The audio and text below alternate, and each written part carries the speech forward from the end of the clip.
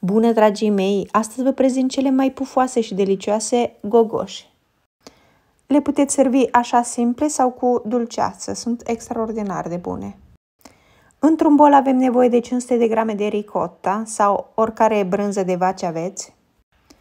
Am mai adăugat și 100 de grame de zahăr, 2 ouă, un praf de sare, coaja rasă de la o lămâie, două pliculețe de zahăr vanilat, 300 de grame de făină albă cernută și am stins o linguriță de bicarbonat cu zeama de la jumătate de lămâie. Am adăugat totul deasupra și am frământat.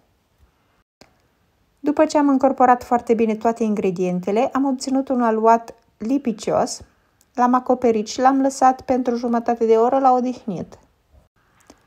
După care mi-am uns mâinile cu ulei și am format biluțe pe care le-am pus pe un tocător.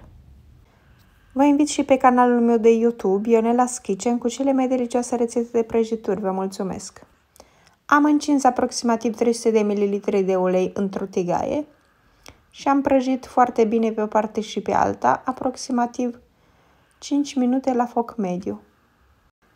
Am așezat gogoșelele pe o farfurie cu șervețel de bucătărie pentru a-și absorbe tot uleiul și sunt gata de servit.